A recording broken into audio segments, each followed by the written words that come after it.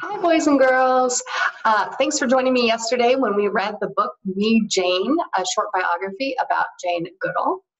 I just wanted to let you know that I wanted to continue this because I really enjoyed learning about her and I enjoyed that she had such a passion about chimpanzees and she was one of the first um, researchers to study and research chimpanzees and live with them as well. So today I have, I think you can see my screen, it's called Chimpanzees. It's a nonfiction text. Um, I know it's nonfiction because I can see a real image of a chimpanzee on my screen and not a drawing. The author's purpose is to inform. They're going to inform us about some facts about chimpanzees. So I would like you to relax and enjoy our nonfiction passage.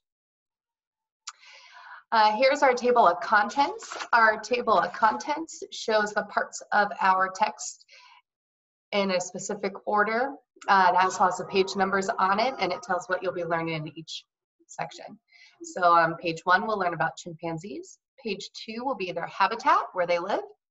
Three, caring for their young. Four, baby chimps. Page five, moving along.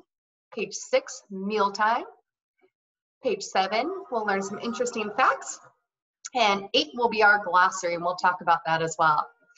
All right, on page one, chimpanzees. This is a nonfiction text, so we're getting information, we're learning.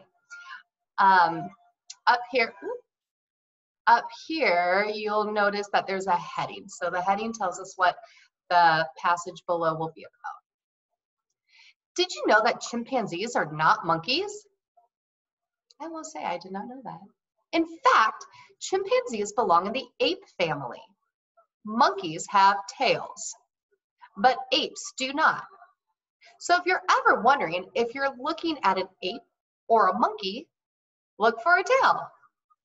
Next time you go to the zoo, you can look at that. And here's a, a mama and the baby.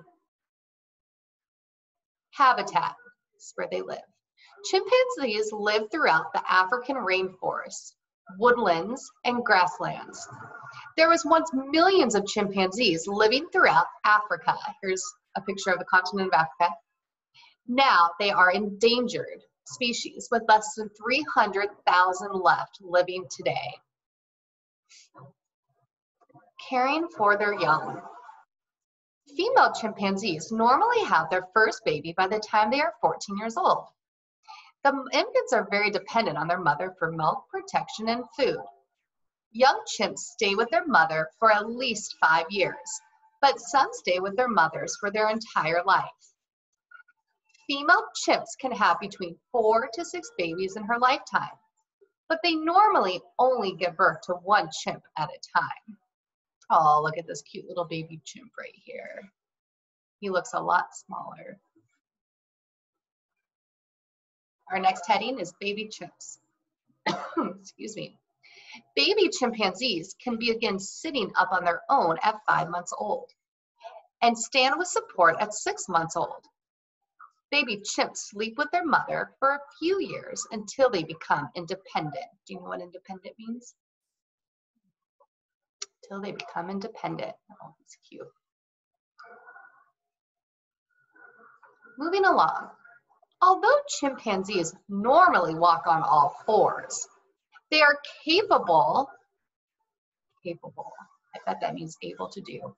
They are capable of standing on two feet and walking upright. How would you feel if you saw a chimpanzee standing on two legs walking towards you? They are also able to swing from branch to branch, where they do most of their eating. When it's time to sleep, the chimps will find a safe spot in the trees Mealtime. Chimpanzees are fruit and plant eaters most of the time, but they will also consume, what do you think consume means? Insects, eggs, and meat. They have a diet that consists of a variety of foods.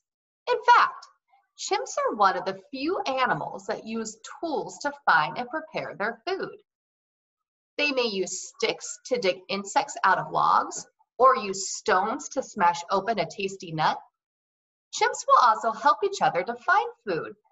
Think about tools that your parents use in the kitchen to help them prepare food. Do you have a garden in the, your backyard?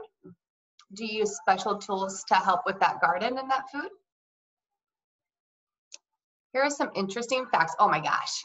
I can tell by their facial expressions it looks like they're laughing and maybe having a good time. I wonder what they're I wonder what they're communicating about.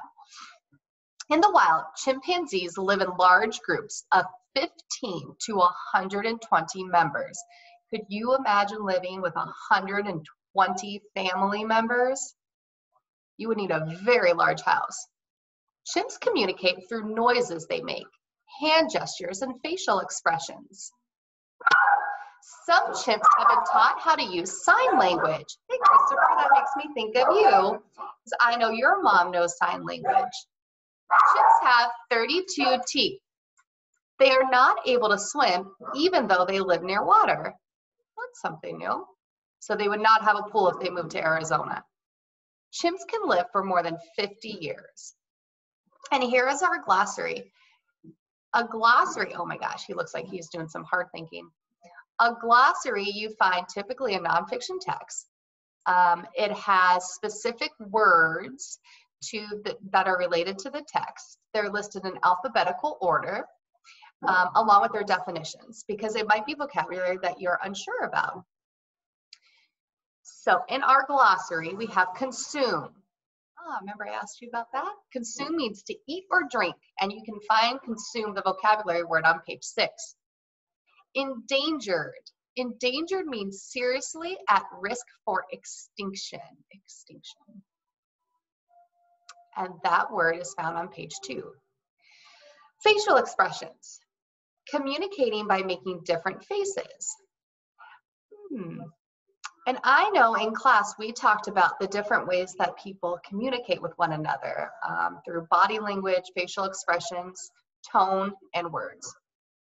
Independent, being able to live on your own, and sign language, communicating using hand signals, so if we wanted to relook at any of these words and reread them in the context with which they were used, you could find the page numbers right down here next to the, uh, the definition.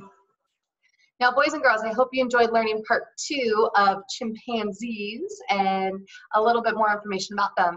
I will send a separate email to your parents that has a quick animal research project. So if you would like to um, go ahead and pick one of the animals that I have listed on our packet. You can do a really quick research project and share it with us. I think that would be really neat. And we can channel our, channel our inner Jane Goodall and do our part to learn a little bit more about a specific species.